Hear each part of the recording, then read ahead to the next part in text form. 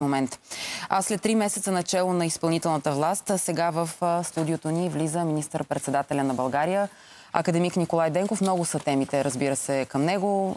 Първо ще започнем естествено с бедствието в по Южното ни Черноморие, но ще си говорим и за местни избори, за стабилността в коалицията, за ситуацията в Черно море. Въобще темите са много, да ни стигне времето. Здравейте, академик Николай Денков е вече в нашото студио. Здравейте. Академик Денков, ако трябва да поставите оценка на вас, но и на институциите за справяне с ситуацията в Царево и околностите, каква би била тази оценка? Аз винаги съм казал, че оценките трябва да ги слагат хората, когато става дума за политици. Но ако трябва да преценя къде се намираме в а, такива трудни ситуации, по отношение на реакцията в Царево, бързина на реакцията, координация между институциите, помагане на хората, които трябваше веднага да бъдат изведени от опасните места. След това хората от социална политика, които тръгнаха да обикалят по къщите. Всичко това действително стана по най-добрия възможен начин в тази трудна ситуация. По най-добрия така че там оценката е висока. Нека да, нека да свърша. Но по отношение на всичко останало, как беше подготвена държавата, превенцията, сега това, което виждаме в Карлово, какво правим след като мине събитието, виждам, че там има много големи проблеми и всъщност това е по което искам да работим през следващите дни и седмици. Опитвам се да направя връзка между тази много добра оценка, която вие давате и тези четири загубени живота. Кой ще поема отговорност за тях? Кой е виновен? Това, което мога много ясно да кажа е, че ако не беше станал проблема с моста, ако там не беше пропаднал моста, не беше паднала колата на същото място, доколкото знам и четвъртия човек си е отишъл, всъщност нямаше да има жертви. Но се случи. Така че, да, това е което трябва да провери прокуратурата. Аз не знам защо се е стигнало точно до този инцидент на този мост.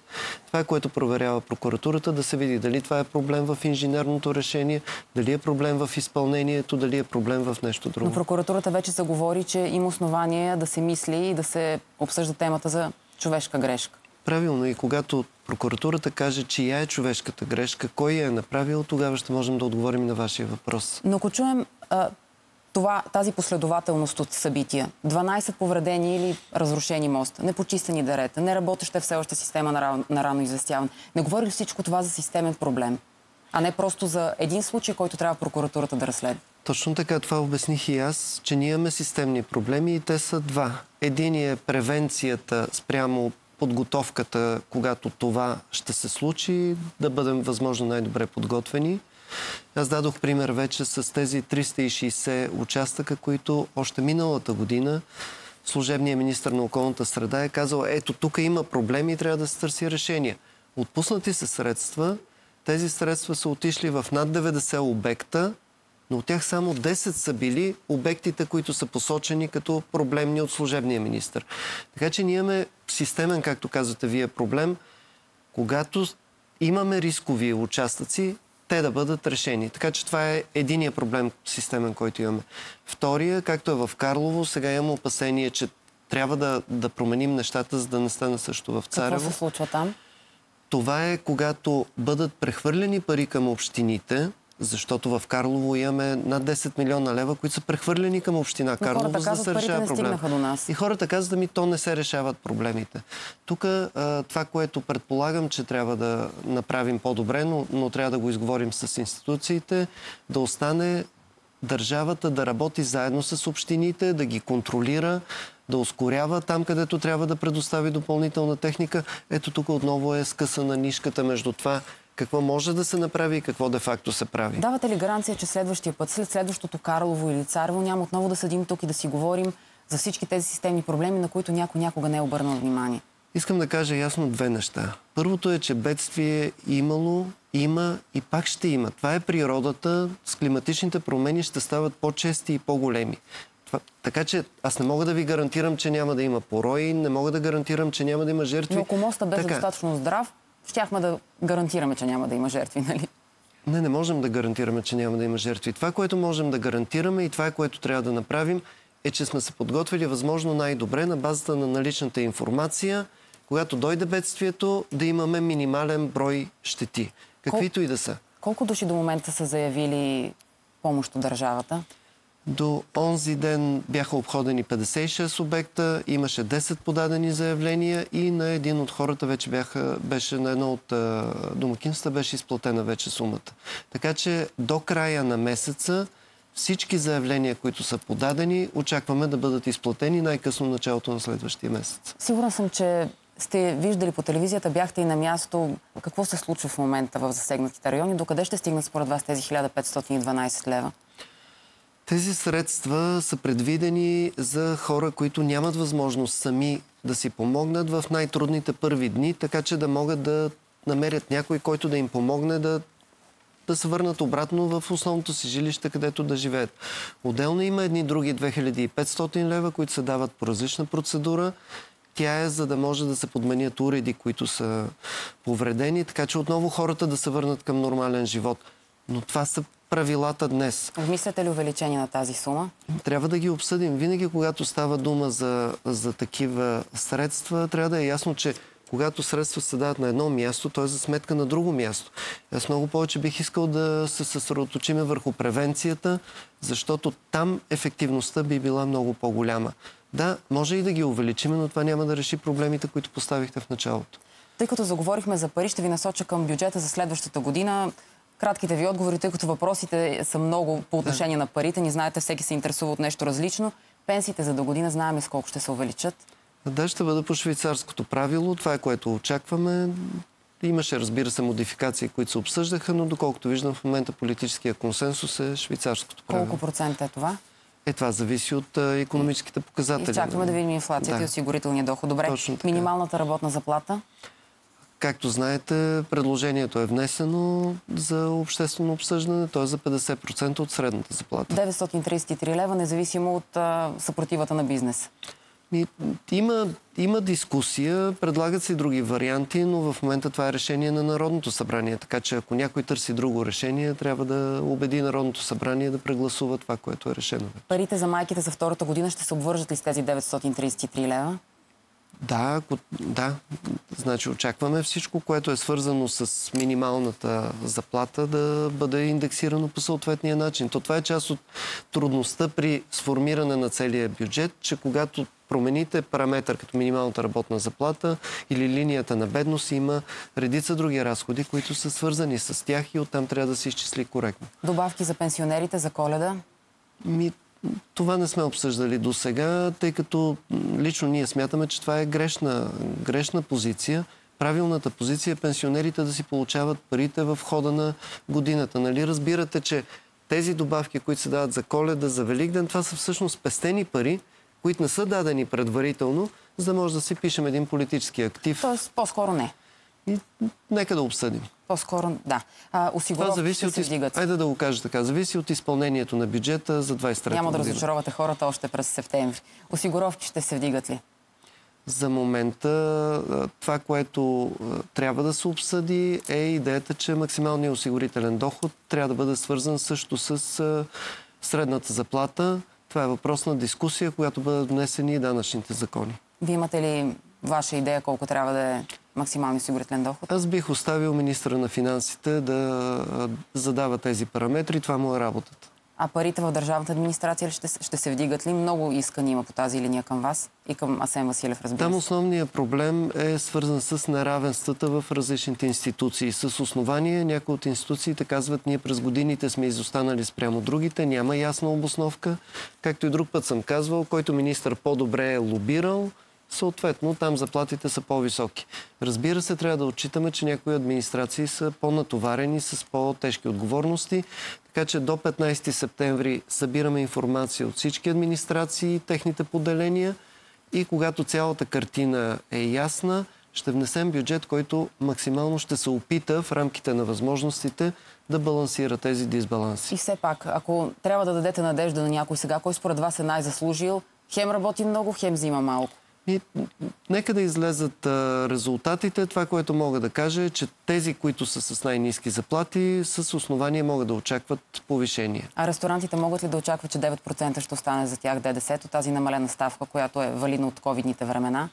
Да, аз не виждам никаква причина за това. Ресторантьорския бизнес в момента е в възходящ тренд. Имаме повишение на броя на туристите, така че отново това решение предстои, но аз не виждам основание това да остане. А, ще следим а, тази тема и реакцията на ресторантьорите. Разбира се, знаете, с голямо внимание следим и отношенията между кабинета и президента. Една снимка между вас, на вас и на президента Румен Радев на Мача на надеждата, организиран от Стилян Петров, направи силно впечатление. Вие и Румен Радев си говорихте. За какво? За какво си говорихме? За проблеми... Рядко се случва, за това ви питам. Да, нека да го кажа така. А, говорихме си за проблеми, които трябва да решаваме заедно. Това е истината. Имаше няколко, които обсъдихме. Това, което искам да кажа е, че аз винаги съм смятал, че трябва да обсъждаме и трябва да решаваме тези проблеми. И когато се говори за престрелки, искам да кажа, че това не е коректно представена ситуация. Имаше дълги месеци, бих казал, залпове от едната страна към другата страна.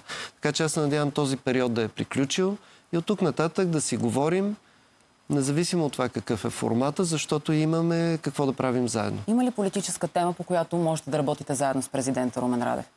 Има доста теми, по които можем да работим заедно. Примерно през последните няколко седмици аз внимателно следя риториката. Той многократно каза, че е за проевропейско развитие, че трябва да се интегрираме в европейските институции. Чудесно! Нали? И аз това искам. Това ни е основна цел. Но разбира се, това трябва да става с конкретни действия. В момента, в който внесеш бюджет, който е с 6,4% дефицит, ти моментално изпращаш държавата извън орбитата на еврозоната, например. Така че едно са политическите декларации, друго е какви са действията. Аз се надявам, че сме преминали вече към конкретни действия, по които можем да работим заедно. Успяхте ли в лично качество, да го наречем така, да простите на президента Румен Радев? Той не ви подаде ръка при връчването на мандата, напусна парламента преди правителството ви да положи клетва? Аз отдавна, влизайки в политиката, съм си оставил егото в страни. Няма за какво да прощавам. Ние действително имаме да вършим работа заедно. И това е важно за мен. Нищо друго не ме интересува. А когато той казва, че трябва да се еманципирате от своите ментори в записите, какво ще му отговорите? Ми, както и преди отговорих, аз нямам ментори, няма кой да ми шепне в ухото. Аз действително съм човек на тези години, с моите си постижения, имам си самочувствие – има хора, които уважавам, с тях обсъждам и с тези хора ще решаваме какво да правим заедно, защото никой не е безгрешен, трябва да има обсъждане. Ще се радвам да обсъждам и с него, но разбира се, решенията всеки трябва да си ги взема на базата на отговорностите, които носи. Слушате риториката на президента, чули сте, сигурна съм, и една идея, която той като че ли подметна за референдум по отношение на националния празник. Бихте ли подкрепили идеята дали да е 3 марта или 24 май да го реши народа? Ми, това трябва да се обсъди. Има логика и в това предложение, но това, което искаме, ако се тръгне към референдум, да има достатъчно време да се чуят аргументите в едната и другата посока, защото начина по който защитниците на 3 март представят ситуацията, изобщо не съответства на истината. 3 март има много спорни моменти, които не се казват и ако искаме да правим референдум, резултата трябва да бъде на базата на информирана дискусия, така че всеки да знае за какво отговаря. Но не изключвате тази тема. И нека да, да се проведе обсъждането в Народното събрание. Другата възможност е с две трети Народното събрание да реши и да го вкара в, в Конституцията. Това е въпрос на политически дебат. Добре, а... Само, може ли за да. 3 март да кажа нещо? Никой не оспорва ролята на 3 март като такава. Никой не е казал, че трябва да се промени начина по който той се празнува. С всичките зари, излизания на тържествена заря, излизане на шипка, всичко това ще си остане. Въпросът е ние с какво искаме да асоциираме нашата нация, нашата държава и нашето бъдеще. Това е което прави разликата между двата празника. А, за да завършим темата с президента, знаете, представители на Продължаваме промяната доста често отварят темата за импичмент на държавния глава. Тази идея бихте ли подкрепили? Да, аз даже не си спомням кой е предлагал такова И Бождар нещо. Божанов и Венко Събрутев тук в студиото на Нова Нюз го каза преди известно време. Вижте, с опита, който вече е трупам в политиката, знам, че всяка една такава процедура като импичмента ще отнеме изключително много обществена енергия, напрежение, ще ни отклони от задачите, които имаме да решаваме. Така че аз в момента смятам, че това по-скоро би попречило. От друга страна и отново да бъда ясен, и друг път съм го казал, Президента неколкократно излиза извън правомощията, които му дава Конституцията. Така че той е дал основания за това, но аз мятам, че това по-скоро би пречило сега, отколкото да помогне. Докато все още сме на темата за трудните разговори, имахте ли вече среща с Кирил Петков? Той се върна от Съединените щати. Поговорихте ли за онази заветна среща в манастира, за това кога са се видяли, какво са си говорили и най-вече каква е била ролята на Алексей Петров в този казус? Ми, още не сме го провели този разговор. Да, тук ама ние имаме доста по-важни неща да си говорим с него. Ще го питам, защото виждам, че това е... Добре, наистина като ли за вас не е важно дали човек с биографията на Алексей Петров под една или друга форма е а, навигирал процеса за съставяне на правителство? Наистина ли като лице на това управление това не ви вълнува? Значи, вижте, причината, поради която казвам, че не ме вълнува е, защото Алексей Петров не е навигирал съставянето на правителството. Аз участвах в съставянето на правителството. От първия ден до, до днес. Така че знам как е съставено това правителство. И Алексей Петров няма никакво отношение към съставянето този на правителство. Защото тази тема от толкова време се върти в публичното пространство и като че ли никой не излиза да каже неговата роля беше такава, той прави там това, бащата на Кирил Петков прави това и за да може тази тема да бъде затворена. Всеки път, когато този въпрос се отвори, се започва и не сме говорили, не знаем, имаме по-важни теми. Нека да изчистим веднъж за винаги, за да може да не я питаме отново. Точно така. И затова питайте тези, които са участвали там. Аз не съм участвал в тази среща. И вие така, не че... питате също по нея. Ма не ме интересува. Разберете, действително това за мен е абсолютен детайл. Знам как правихме законодателна програма, знам как правихме управленска програма, знам как съставихме правителство. Алексей Петров го нямаше там нито телом, нито духом. Така че това не е моя работа. Питайте хората, които се твърди, че са участвали там. Надявам се да бъдат наши гости, да имаме възможността да ги попитаме. Ролята на бащата на Кирил Петков каква е в Продължаваме промяната. Има ли той роля за управлението? Ми, аз с него съм се виждал инцидентно по протести, на които сме се виждали. Аз не се консултирам с него. Той не ми казва нещо, което това трябва да направиш, така че не знам. Участвала ли е в някакви политически срещи? Бил ли е консултант по някакви теми? Нека да изчистим и този въпрос. Значи в срещи, в които аз съм участвал, никога той не е участвал. Не е участвал. Какво трябва да се случи с партньорите в управлението, за да се наречете коалиция? Това, което трябва е първо да се изгради доверие, че може да се работи дългосрочно по приоритетите, които са важни. Няма такова доверие сега. Ми, вижте, то доверието се изгражда. То това е думичката, която, която се използва. То не се явява като днеска, има, днеска няма, утре има. То не работи така. Има някакви първи стъпки на съвместни действия. Но докато не свършим основните задачи, които имаме, и между другото тази сесия до, до нова година е достатъчна, за да видим можем ли да свършим работа и оттам да се изгради и доверие. А, ако ние успеем да приемем законите, които са в Народното събрание, ако успеем да променим Конституцията по начина, по който е замислена, след това бих могъл да кажа, че има доверие. Но преди да стане това, има както казвам аз, винаги умерен оптимизъм, че това може да се случи. Тоест думата коалиция ще дойде след всички тези приоритети, които вие очертахте преди малко. Втората, втория начин да има коалиция, това вече е формалния начин, е да има някакъв документ, който да се подпише и той да бъде подробно коалиционно споразумение. такъв? Ми, аз и друг път съм казвал, че всъщност имаме проблем в нашата конституция, защото тези седемдневни срокове, които се дават, и това трябва да се обмисли, те не позволяват да се състави една истинска коалиция, каквато, знаете, в други държави се съставя месеци, понякога и в Белгия, мисля, че беше близо две години, в които се оставя достатъчно време да се внимателно да се обсъдят всички спорни проблеми, да се изготви документ, който е няколко стотин страници. Ето това е коалиция с коалиционно споразумение. Каква ще, ще е и е ролята на ДПС в момента във вашата не коалиция? Приемаме, че на този етап я наричаме така.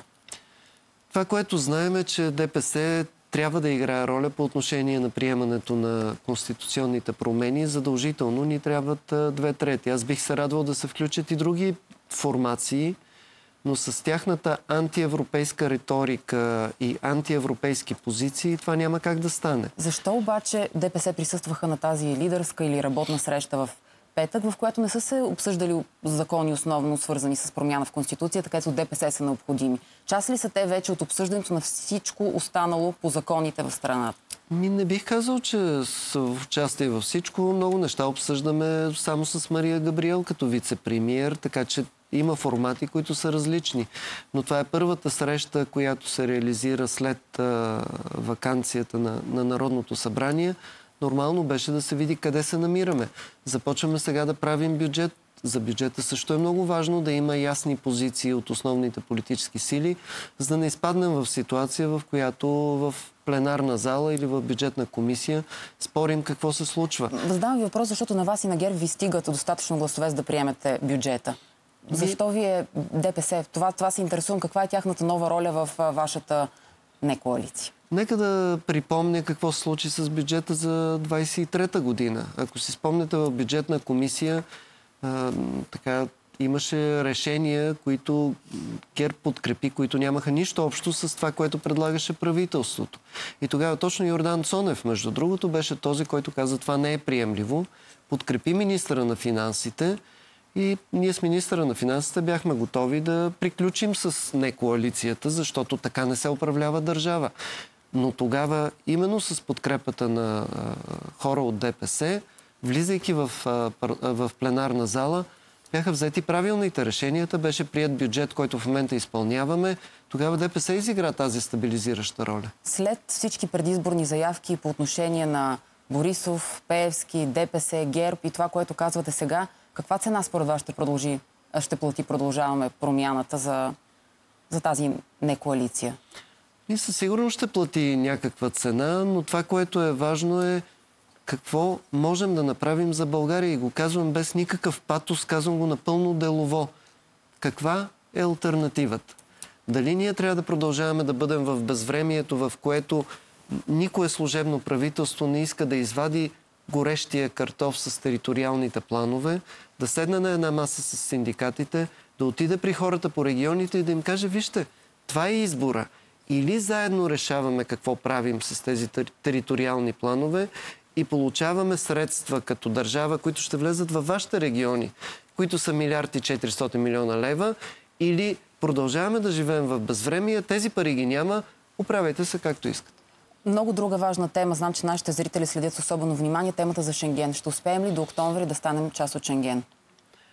Това не мога да гарантирам. Това, което мога да гарантирам е, че ако си изпълним законодателната програма, ако приемем решенията, които са предвидени до средата на октомври, няма да има нито един аргумент, който другите държави по същество да могат да използват срещу България. Защото в момента имат такива аргументи.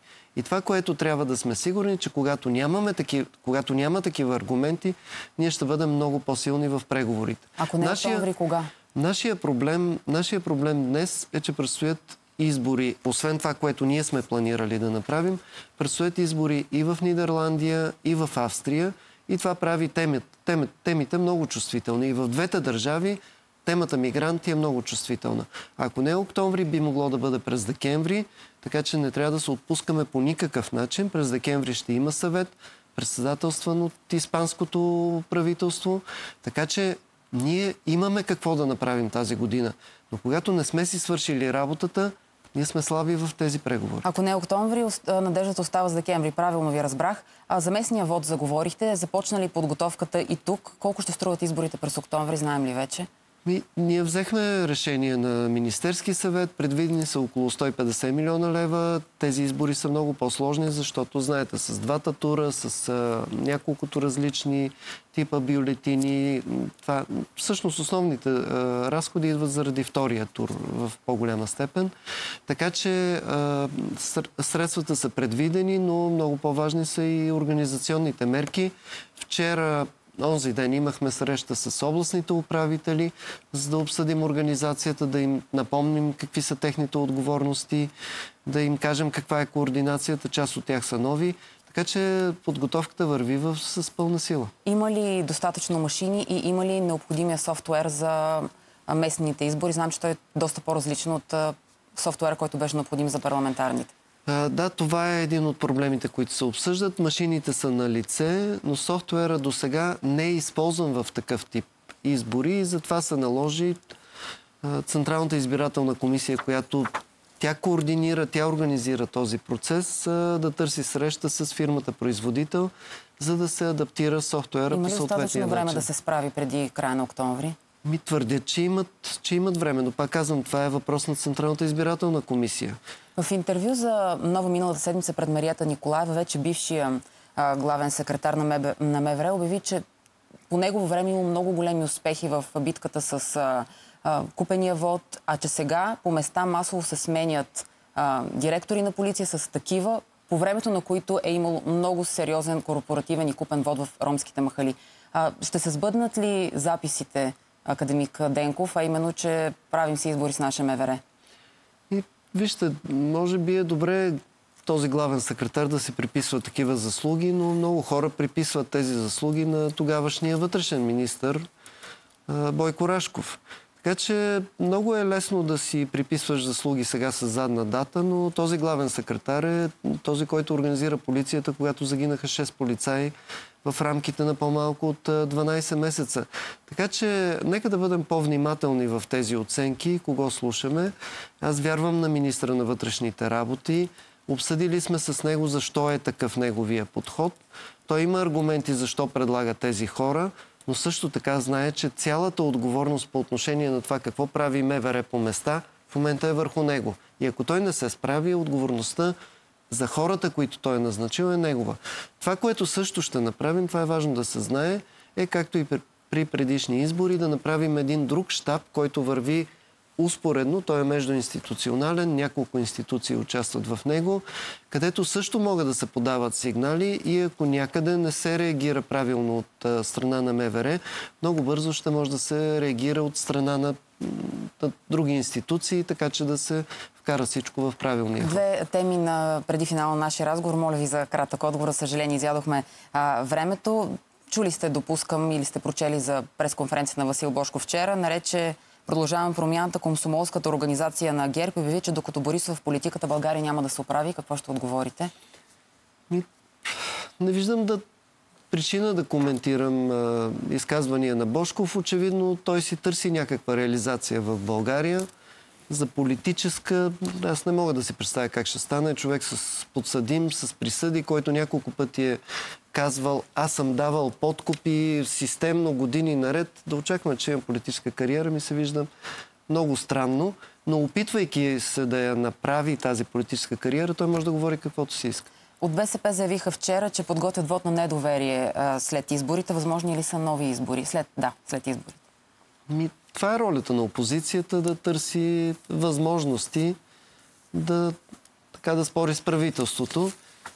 Аз така и не разбрах имат ли тема за този вод. Ако имат, какви са основанията, нека да видим. Темата Украина ще... казаха, че ще е една от темите за вода на недоверие. Добре, да, нека да видим. В тази връзка последен въпрос. Действително има, има ли пряка заплаха за морските ни пристанища след разполагането на военни кораби в Черно море? Ми, ако всъщност се постави тази тема за Украина, аз отново ще мога да обясня много ясно защо действията на това правителство всъщност съответстват на националните интереси на България. Защото тезите, които се защитават от, примерно от президентството, от БСП, всъщност създават реални заплахи за България и това трябва да, да бъде ясно казано. Така че ще имаме възможност да го обясним. Благодаря ви много за този разговор. Академик Николай Денков, министр-председател на България в студиото на Събуди се.